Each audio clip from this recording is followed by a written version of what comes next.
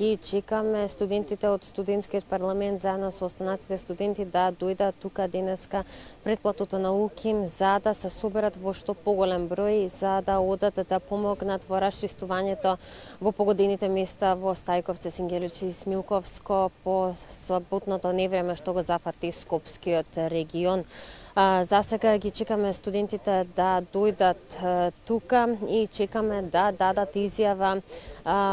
од студентскиот парламент во однос на тоа како ќе се одвива нивната акција за помагање на настраданите.